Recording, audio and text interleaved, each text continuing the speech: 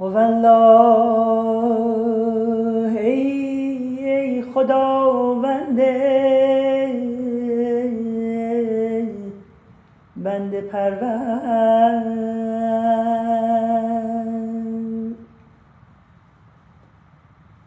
پدر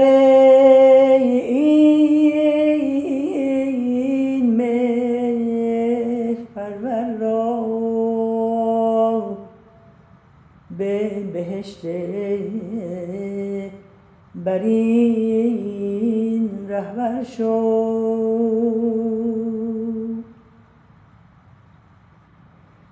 و از گناه و خطا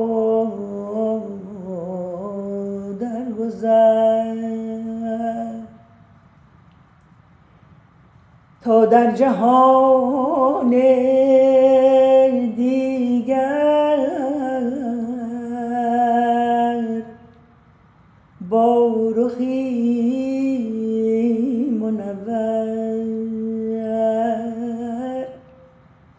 در میان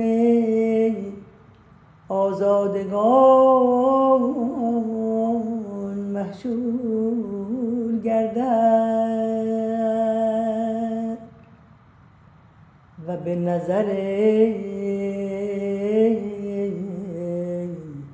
عنایت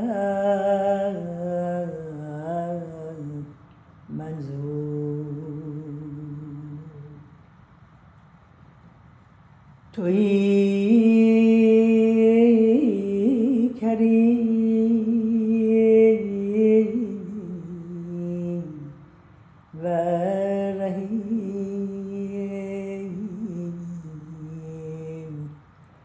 غفور و رعوم و مهربان